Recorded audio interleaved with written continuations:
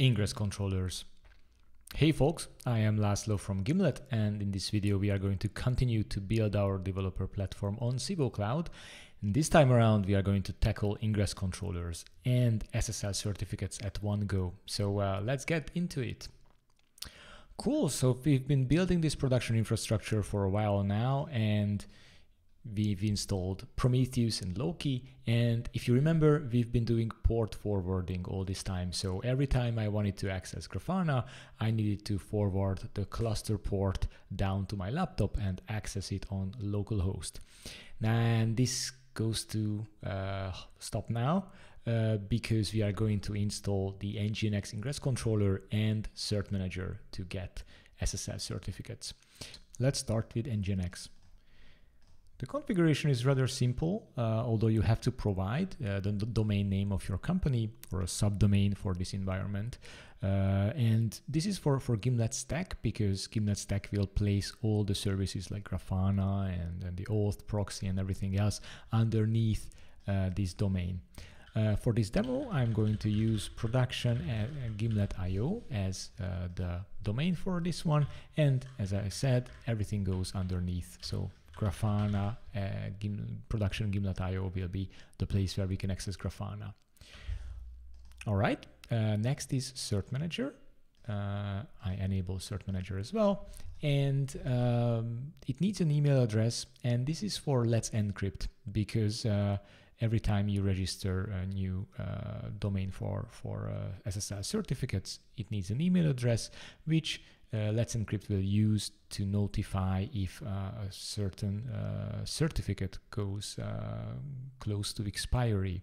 Now with Cert Manager, this is not really an issue because it renews uh, well before uh, a certificate expires, but Let's Encrypt needs an email address, so let's give it to it. So that's my email. these are the two components that we are enabling right now. And I'm also enabling this little flag that I'm using Civo Cloud. Uh, it basically tells Gimlet uh, Stack to use those little um, optimizations for Civo Cloud. Um, sometimes there, there's an annotation that's required for specific cloud providers, and Gimlet Stack takes care of uh, all this. Um, and we are not going to use the built-in Traefik ingress controller from Civo uh, Marketplace. If you have that one, then you unselect NGINX and you use the, the Traefik ingress controller and also provide a host the same way as you did with NGINX.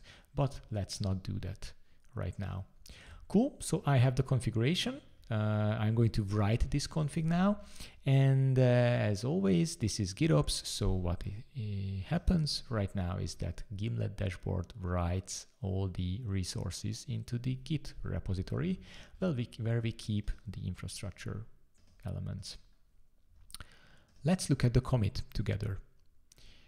So 12 seconds ago, many things were written here. Stack old, it's just some uh, housekeeping for Gimlet Stack. Uh, we install Cert Manager. This is uh, basically the Helm release. Uh, and we also install the Helm repository and for Grafana actually. So because now we have an ingress controller, Grafana automatically gets an ingress entry. And as I promised you, Grafana subdomain goes under the, the domain that I've provided. So it's Grafana production gimlet.io. We also install the NGINX ingress controller with some basic uh, configuration and uh, also the Helm repository for it. This is the YAML piece for Cert Manager and the cluster issuer. Basically, this is the, the config where we provide uh, stuff for Let's Encrypt. Uh, we also have a new dashboard for NGINX. It's a huge YAML file, so I will not load the diff here. And again, some housekeeping. As I told you in the last video, uh, Gimlet Stack uh, keeps its configuration in a stack.yaml file in the root of your repository. It's a very straightforward YAML uh, file, and actually you can edit it by hand. Uh, plus, uh, if you are not a huge fan of dashboards, there is a CLI command called Gimlet Stack, which uh, you can use to update this file or, or to, to modify components. So cool. Um, this commit was made. So what you expect is that it all goes down to the cluster thanks, thanks to Flux, um, our uh, Git uh, controller, GitOps controller. So let's take a look. Uh, I am on my production cluster uh, on Civo Cloud and I am jumping into the infrastructure namespace and as you can see, pods are running. Uh, Ingress Nginx, Cert Manager, um, also there is this CM Acme HTTP solver. Uh, this is uh, just a temporary pod. Cert Manager is trying to resolve uh, the, the domain name. One last thing is that uh, it also placed uh, a Kubernetes service into this namespace for the ingress controller and its type load balancer. Now this is important because this is the place where we, we connect the external physical networks of, of the internet together uh, with our cluster networking. So this service is accessible internally on this IP and externally as well on this public IP address. So uh, basically to reach our uh, ingress controller, we need to place this IP address into our uh, domain name server, our DNS, and uh, the ingresses that are in the cluster start to work. Just a little side note on ingresses and ingress controllers, if you are not familiar uh, with, the, the, with the difference between them. You gonna keep create ingress entries as YAML pieces in your cl cluster, which basically connects two things. It's co it connects an external uh, domain name with an internal service. So this one connects uh, this domain name uh, with service that is not visible on this view.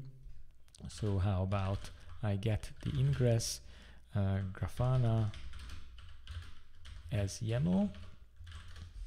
It's it's a bit better here. Basically, uh, this host name is connected with a service inside the cluster, which is called Grafana, and port 80 is going to be mapped onto this host entry.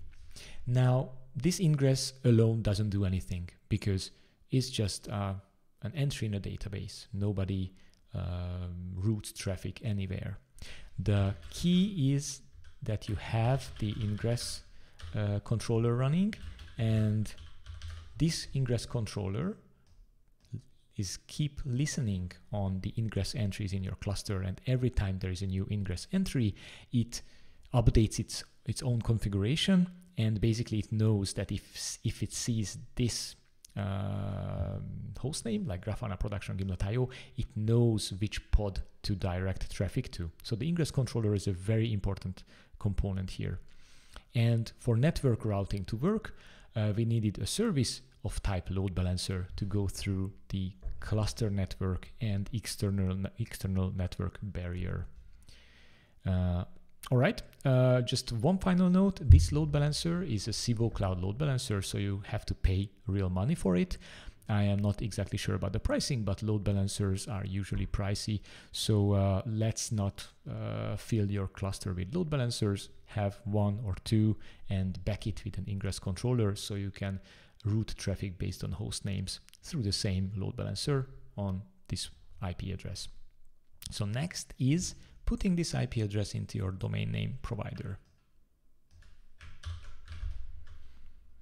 I am using Cloudflare um, for most things DNS and uh, I'm going to add a record, uh, an A record to this IP address and as you remember I am mapping everything to production gimlet.io and I am adding a wildcard entry underneath. So everything under production gimlet.io goes to this IP address and I'm not using Cloudflare's proxying, caching and uh, CDNing features and so on. Um, once I hit save here, uh, this entry is propagated to the internet. and I'm gonna watch for two things. One is I am watching the ingress entries and the other one is I am looking up the Grafana uh, domain name. And actually it reached me already. So grafana production gimlet.io is already pointing to this address but this is just for me.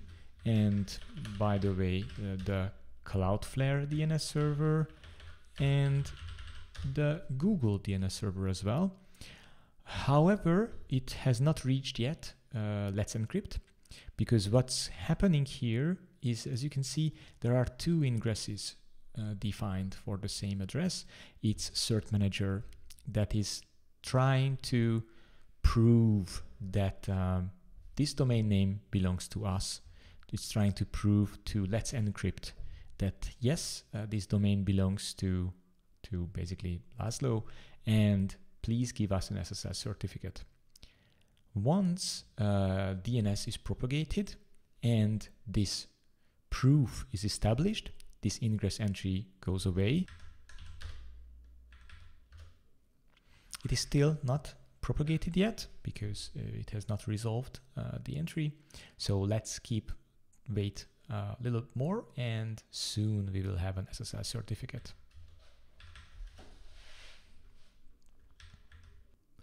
So it is not happening really, and sometimes I ha have to restart the process. Uh, maybe it's in a in a backoff loop uh, of uh, some long backoff loop. And the way I usually retrigger the certificate provisioning process is that I delete uh, the secret where the SSL certificate will be stored, and this triggers Cert Manager to recreate uh, this CM pod and the ingress entry. So how about I get the secrets and I delete secret uh, TLS Grafana. As you can see, it was recreated immediately. Uh, and I'm also looking at the pods. CM pod was also recreated and the ingress was also recreated. So uh, I hope this time we will be faster. So uh, let's just wait.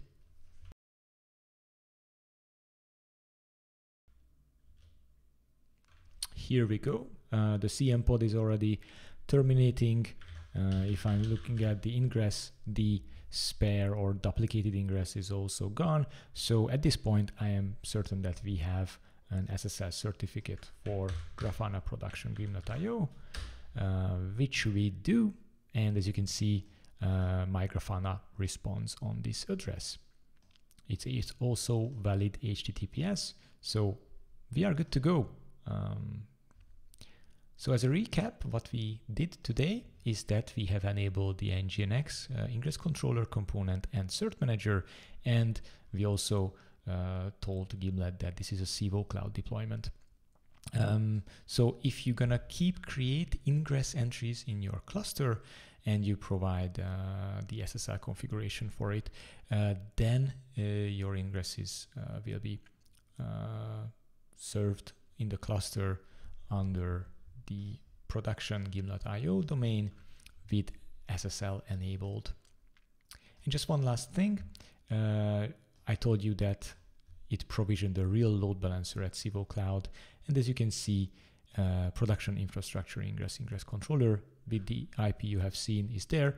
So yes, uh, we are going to pay for this, but we are also accessible on, on the internet. So I think this is a wrap and uh, thank you for watching.